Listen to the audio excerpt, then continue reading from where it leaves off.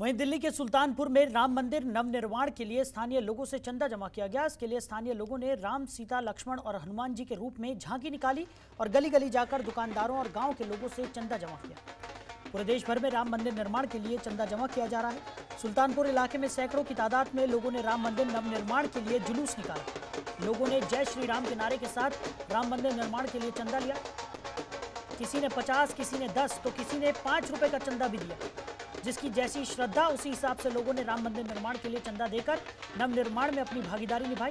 लोगों का कहना है कि कई सालों से राम मंदिर निर्माण का फैसला रुका हुआ था, लेकिन जय श्री राम मंदिर निर्माण का फैसला अब आ गया है और सभी हिंदू धर्म के लोगों में काफ़ी खुशी भी है और काफ़ी हर्षोल्लास भी है।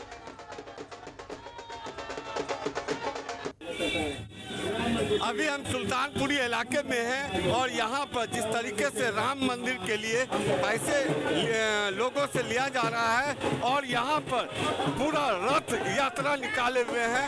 मैं मैं बात करता हूँ मैं बात करता हूँ कि यहाँ पर किस तरीके से रथ यात्रा निकले हैं।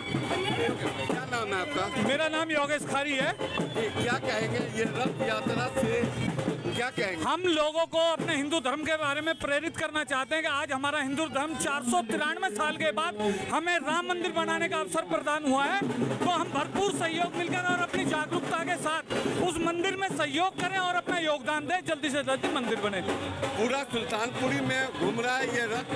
ये रथ पूरे सुल्तानपुर में पूरे सुल्तानपुर गाँव वासियों के सहयोग से और हमारे आस पड़ोस के जो भी हमारे ग्रामवासी हमारे मित्रगण हैं जो हिंदू धर्म को सपोर्ट कर रहे हैं उनके सबके ये सहयोग से ये रथ यात्रा निकाली जा रही है।